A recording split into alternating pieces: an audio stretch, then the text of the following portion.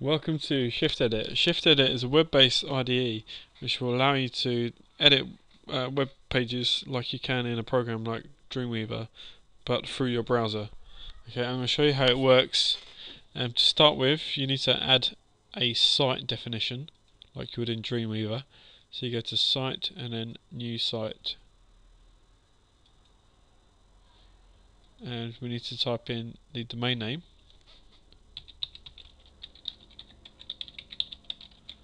The FTP username, the FTP password, and the FTP directory.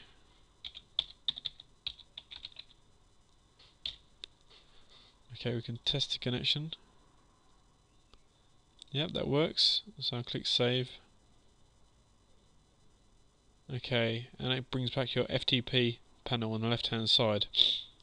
So I'm going to try editing a file. So I'm going to go to templates and about.php.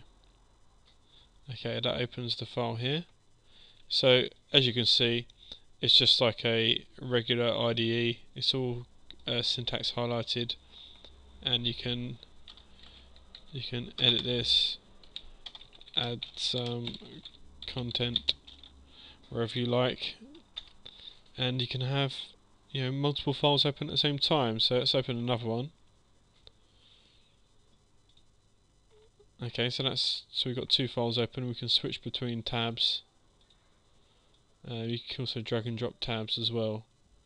So that's basically where we're at at the moment. We're constantly adding new features and functionality to it.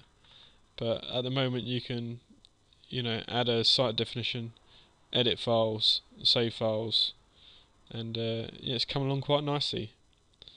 So sign up for a demo today.